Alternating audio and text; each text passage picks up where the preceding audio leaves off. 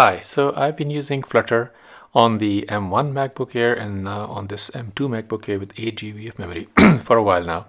And uh, this is a project in which I'm also using Firebase. And so I just wanted to show you how this whole thing works out and how the ecosystem has evolved to support Apple Silicon at this point. I'm going to start by doing a Flutter clean. And what this will do is it'll just delete all the pre-built libraries that I have because I want to show you from this, you know, from a clean slate, how long it takes to build these projects. Uh, notice that it has to do a lot of deletion on the Xcode side of things, and that becomes important later on when we rebuild it for iOS. Um, so problems have occurred because all the libraries and references are gone. I'm just going to fix that with the pub-get. So let me just do flutter pub-get, and that will quickly resolve all, all these dependencies, and this will not take long. There you go. All the problems magically disappear. Right, we are ready to go. I'm going to go ahead and run it on the uh, Android emulator first and let me just start it from here the pixel emulator right here and comes up quickly this is uh, native now as you can see very fast no problems at all and let's just go ahead and run it first right so I'm just going to go ahead and run it and it's going to launch it's going to take about 20 seconds and uh, by the way if you want to install uh, the emulator the best way to do that is just get the Android Studio. Uh, it'll come pre-configured or you can configure your own uh, through Studio as well. And it's fast it's accurate and it uh, works just fine. Let me just show you some of the screens that make up this project while this is uh, trying to load up.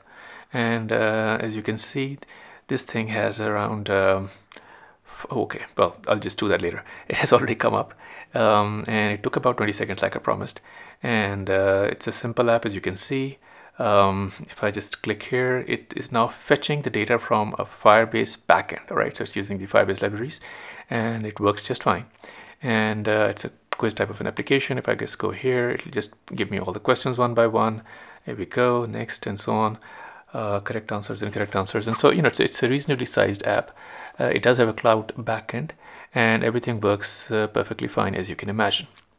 So I'm just gonna go ahead and uh, shut this down over here and look at the activity monitor just to show you that the memory has not been stressed by this operation, right? So I have an 8 GB system and I'm still using about 7. There is a swap file of about 1 GB, but it has not slowed us down in any way. There is no big memory stress.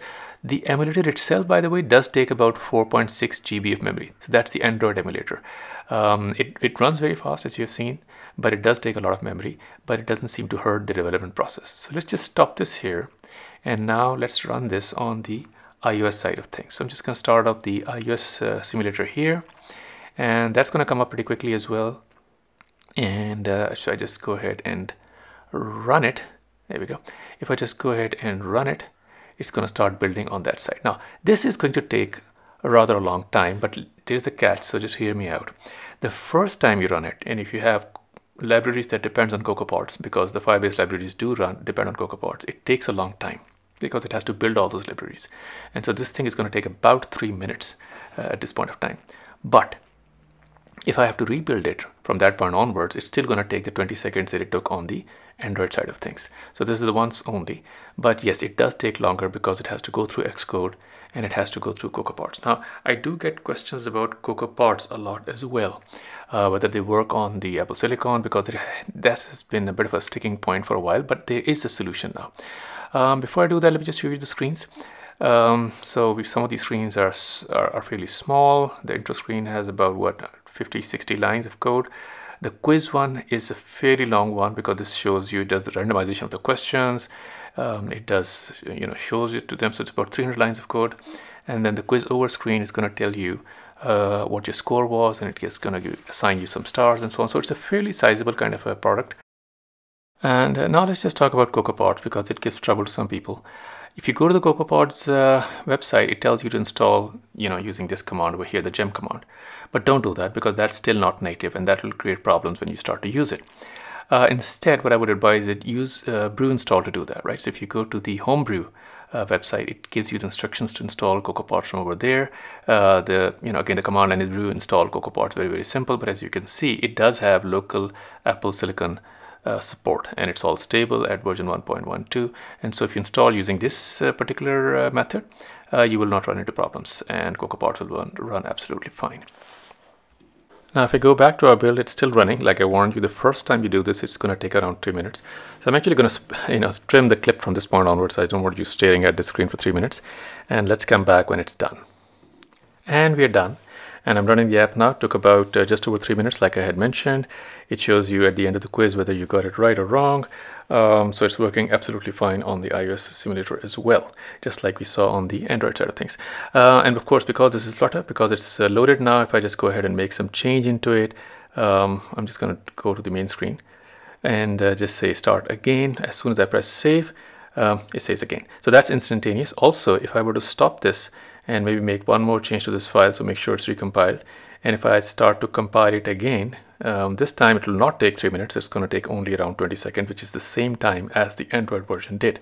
And so the trade-off is the Android emulator takes a lot more memory, uh, but the first build is, is faster. Uh, and, and, on the iOS side, it takes a lot less memory, uh, but the first build does take three minutes. But after that, it's about the same, uh, even Steven. So you can develop on either platform. And of course, because it's Flutter, it doesn't even matter. You can develop on any one of the emulators, and it works identically on the other one. That's the beauty of Flutter, of course, and that's why I love it so much. Um, so let it run this time around and just to show that it is faster this time and uh, it doesn't have to go into this whole song and dance routine of, of compiling all the Firebase uh, libraries. Um, so it will not take that long and uh, once it's run we will also run it on Chrome. So there you go 21 seconds uh, and it's up and it says again and again this time like we changed it. Uh, yeah, it's fetching from the Firebase before, no problems whatsoever. I could not get it to run on the Mac side of things, by the way, for some reason. I don't know, uh, even though the CocoaPod is working for iOS, but not on the Mac. Um, let's actually just try it in the end on the Chrome browser as well. I actually haven't tried this particular project on Chrome, so I'm not sure if this is going to work, but let's find out. Um, so yeah, it's connecting on Chrome now. I have not made any changes to the code, and uh, Chrome is just going to come up in a second and uh, I actually don't know how long that will take. Oh, that was actually fairly quick. That probably was the quickest build time. And yep, it works uh, just fine. And there's Flutter for you, right? So one code base, whether it's on the web or it's on iOS or an Android, works every time, works with external libraries, works with Firebase, works with the cloud service as well. And so, yeah, you can't really get a better, uh, in my opinion, experience than that. And the MacBook Air with 8 GB works just fine for this particular development workflow. And I hope uh, you found something useful in this uh, video and it, uh, if you had any doubts about the machine. And uh, thanks for watching.